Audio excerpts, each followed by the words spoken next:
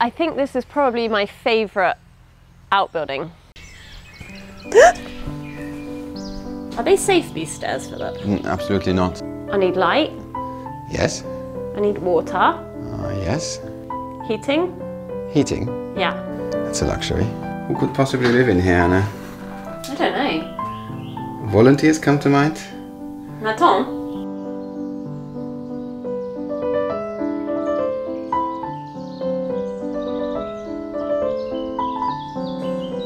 My name is Anna. I'm an English former fashion and textile designer.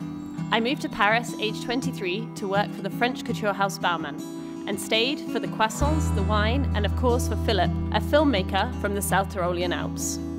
After 10 amazing years, getting married, buying and renovating two homes, and having two babies, we decided city life was no longer for us. Philip had been dreaming of buying a chateau since the day we met and finally convinced me to start looking. We came to visit Chateau Gonneville-sur-Honfleur. Despite being in quite poor condition and needing a complete renovation, we immediately fell in love. In May 2019, we got the keys to the chateau, our new home. With a tight budget, we had no choice but to do most of the renovations by ourselves. We're learning new skills as we go, building muscles we never knew we had, and getting creative to make the chateau as personal as possible whilst preserving its historic features. It's all part of this crazy family adventure, and we wouldn't change it for anything.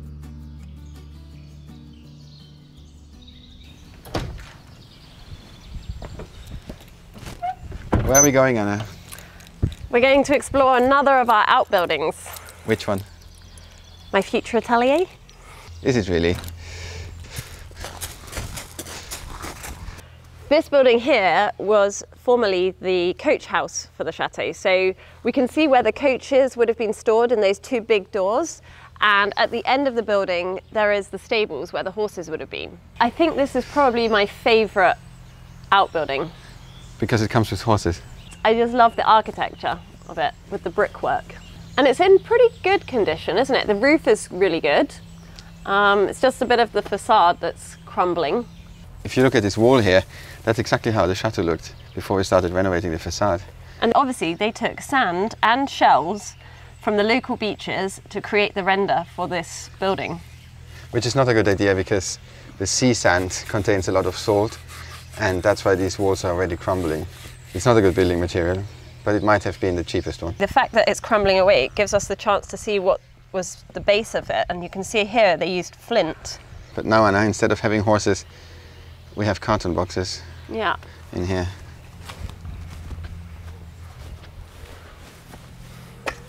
There's a lot of mess in here. I think we might need to take them to the recycling. Okay, let's fill the trailer. Yeah. I might need your help, Philip. I can't, I'm filming. I just need you to push from behind. Yes, a push from behind. No, not me. Ah. Okay. Right. Come on. One handed, you can do it. Ah.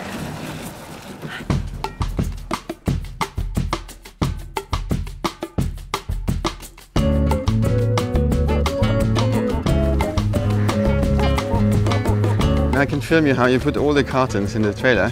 I think we can put it on the tripod and do a time lapse, and then you can help me. I think it's nice if I film you handheld. Come on. Oh, oh, oh, oh, oh.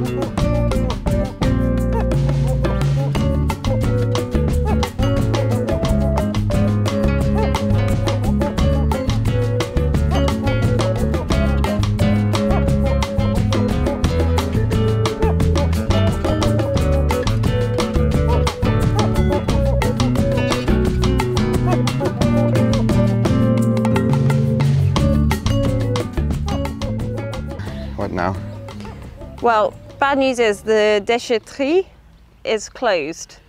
Oh, the tip. Yeah, the tip is closed, uh, so we'll have to do it in, tomorrow morning. So now we have to hide this from the guests who are coming back because it's not very nice to look at. And No. we have a second trailer load of stuff. There was so much stuff in there. I think we underestimated it. Why are you taking that ladder? Yeah, what do you want to do with it? I'm, I might find some use for it.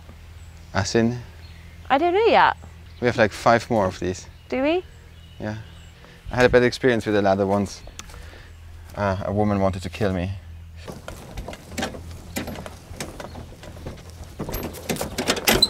You said it's too dirty to show the floor, but you agree me filming you cleaning the floor. I know. That doesn't make any sense. Well, you don't need to film me doing this.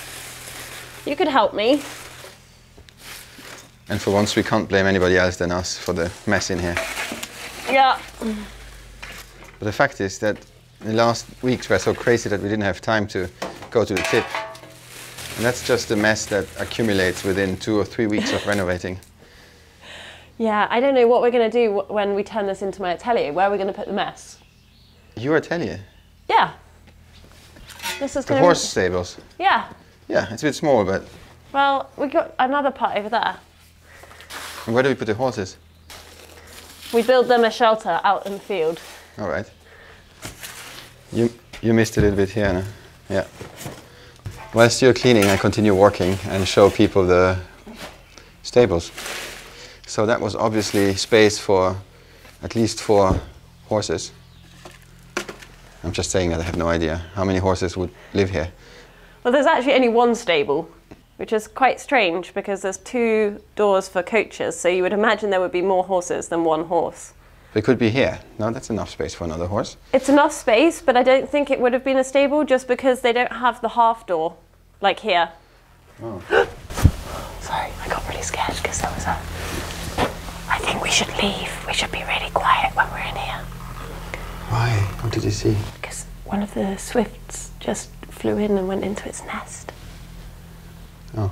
Can you see there's loads of nests in here? There's like one, two, three, four, five.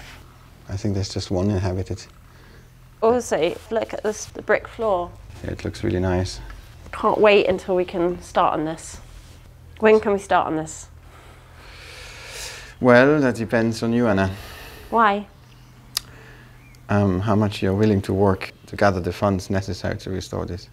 Do you remember when we bought the chateau, we had an idea for each of the outbuildings, but then with time, everything became more complicated because we realized that in order to renovate buildings like that, you need to find a business idea that goes with it so you can finance it. But I think atelier for you could be a good idea. Should we go and have a look on the other side? Sure. It's going to be a bit of a mess in here as well, unfortunately. There's a bin in here.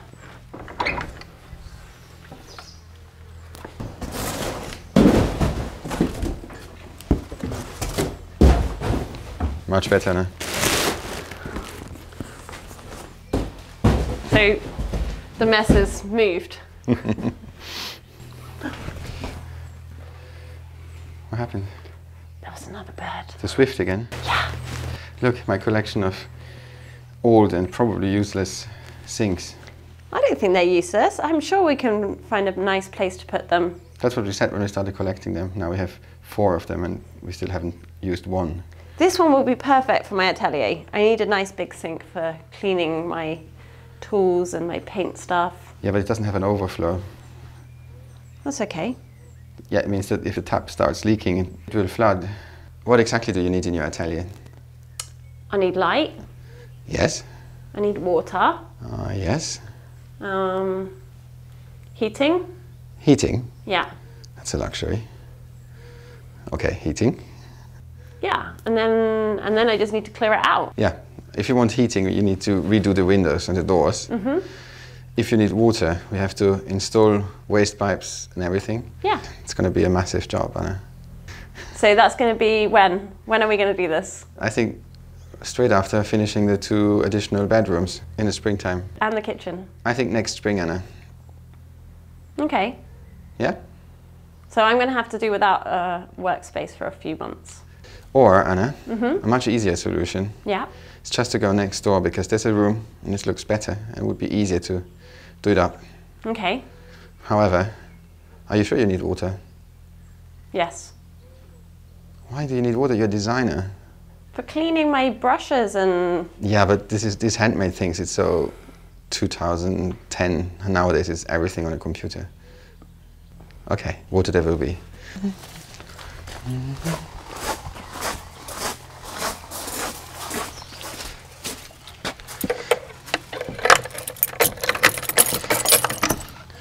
Your new atelier.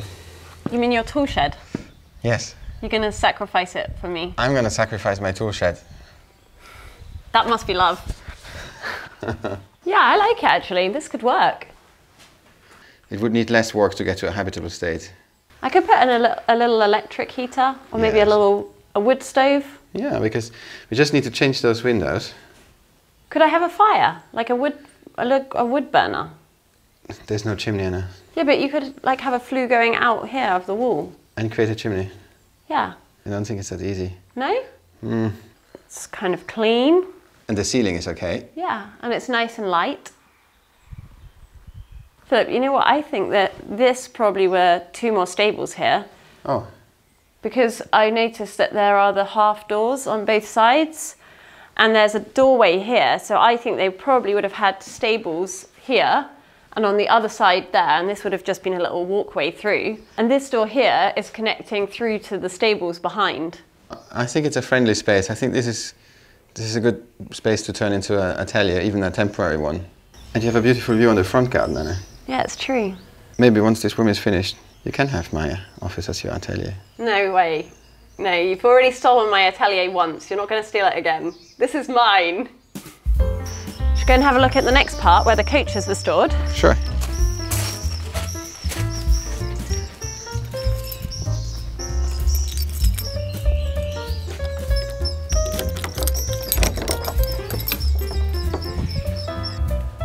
This was the coach house, so you can see by the size of the doors that these would have been massive coaches. And now, what do we do with it? We store all of our shutters. Exactly. So if you were wondering, where are the shutters? Well, there they are. Yeah, we had to take them off to restore the facade of the chateau. And then we put them in here for about two years. Literally, I think there is about 100 because we have about 53 windows. The reason why we are finally able to restore them and eventually put them back is the support from our Patreon community.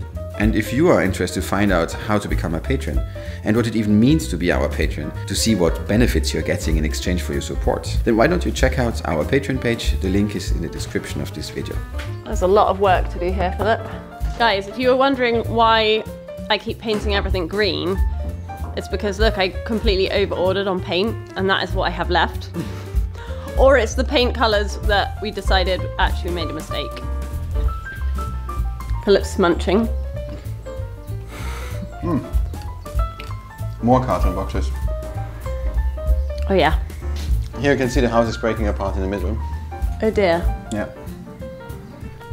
It looks quite scary, that crack, no? The problem with buildings like these is that they don't have strong foundations or they have literally no foundations. So the walls, they tend to move in this way or this way or this way.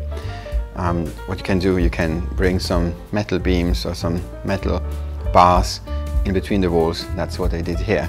And that stabilizes the walls. It's called bracing, I think. That's what I meant, bracing. Brace yourself, guys. All right.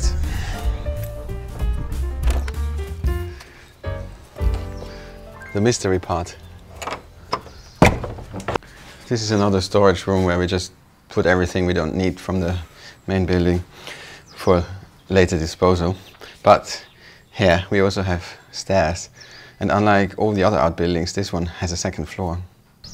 Are they safe, these stairs, Philip? Mm, Absolutely not. I'm doing a Philip and wearing my best outfit for exploring in here.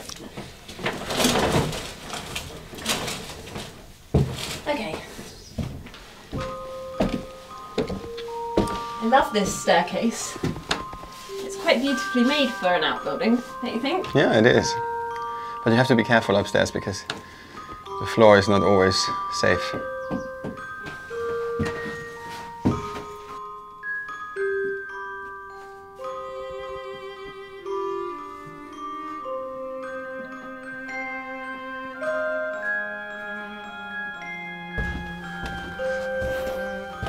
It's a bit dusty in here.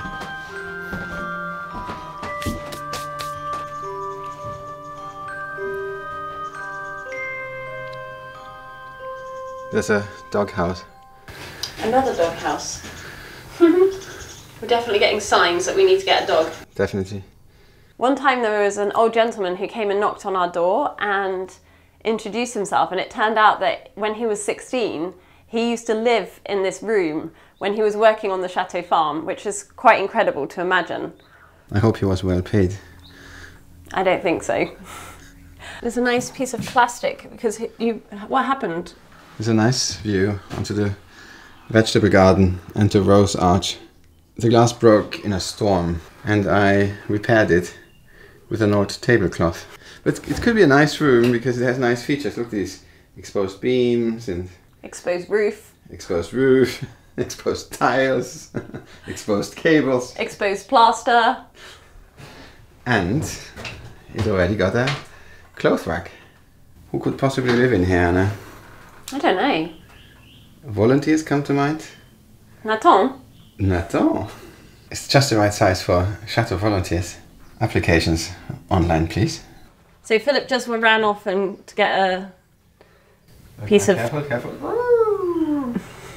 A piece of equipment so we see something. yeah. So this is danger zone there. We cannot walk there because it's normal floorboards. Okay, yeah. Philip, you're really close to the dodgy boards there. That's alright. What's over here, Philip? Look. No, look over here. This over here. Look.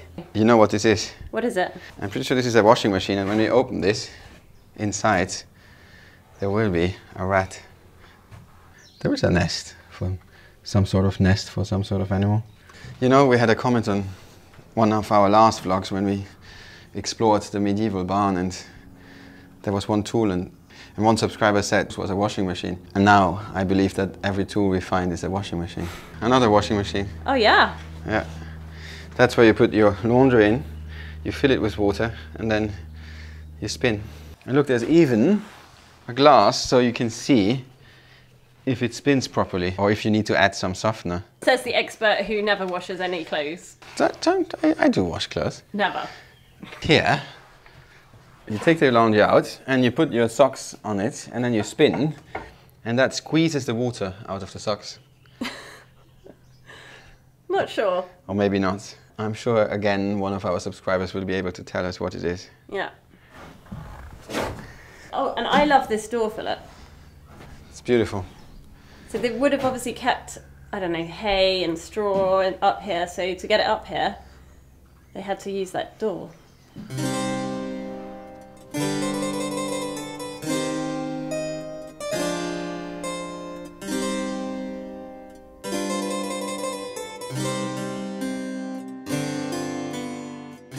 And you know what, Anna? We need to get rid of this hay. Yeah. It's not good to have hay, to store hay for a long time. All sorts of beasts will nest here. Do you remember when we first arrived and we were making our little potager garden, our vegetable garden, and we thought that you could put hay on your strawberries instead of straw? Because I didn't know there was a difference in between hay and straw. Why would you know that if you don't live in the countryside? It looks the same. Not really, but You guys, can you describe the difference between hay and straw without looking at Wikipedia or Google? Hmm.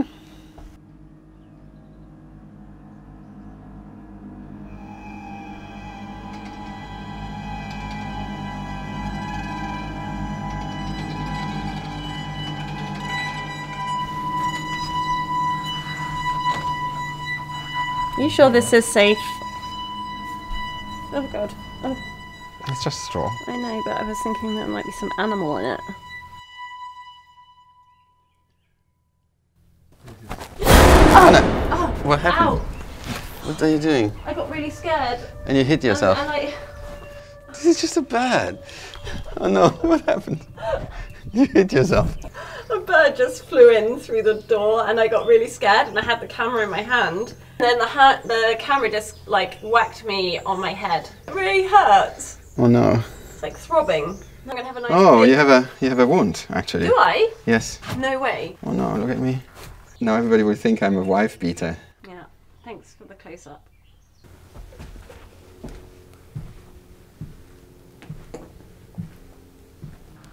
Oh look, Philip, there's a trunk. wonder what's inside.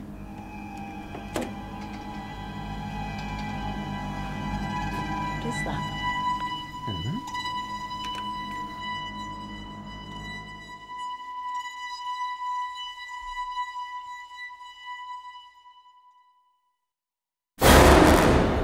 Oh, it's like a. Is it a typewriter? No, or some sort of. What is it? Should I switch it on? Go for it. One, two, three, four, five, six, seven, eight, nine, zero. Interesting. Interesting. Definitely some sort of printer or something. Yeah. It's a nice blue trunk, I like it. Yeah, that'd be another nice restoration project. And the milk can. Welcome back. All right.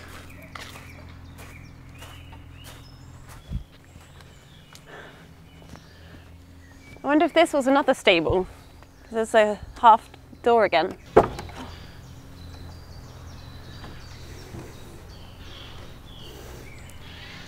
Do you know what's in here now? No, what's in here?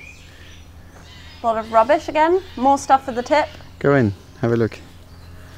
I don't think you've ever been in here. I, I, probably because it's really hard to get in. Oh, it's a cobweb. What's going on? Why are you so scared know, of I'm animals really today? Scared. I don't know. That's really Really what? Dirty, and it looks like some animal has made a nest again. Oh, you know what it is, Philip? It's not a nest. It's insulation. Nah. It's the insulation from up there. Look. It's a nest and it's animals who collect newspaper and make their nests. But if you feel better, we can say it's insulation. And here, that's an old pump system that used to pump the water from the well into this tank and then from this tank into the house. But it doesn't work anymore. An old pump. A beautiful marble electrical switchboard. And a ceiling, which is not in very good condition, so I shouldn't probably stand here. So I think this would have been the fourth stable. So they had four horses. Yeah, which would make sense. They had two coaches. What have you spotted, Anna? The toilet. Oh, the toilet. What did you find? A massive horseshoe. Much bigger than the like Shetland one that you found in the outbuilding last time. This is really big. Well, they had some big work horses here, so they needed big shoes. The best is always for the end. Oh! Oh, there was two toilets. What luxury. It reminds me of those toilets that you find when you're driving in France on the motorway. Well, it wasn't the toilet for the masters. It was a farmer's toilet. Do you think we should keep them as an original feature? Mm-hmm. So that's the end of the tour of the coach house. We still don't know what to do with this outbuilding, but I'm sure you guys have got loads of ideas. So why don't you leave us a comment below this video?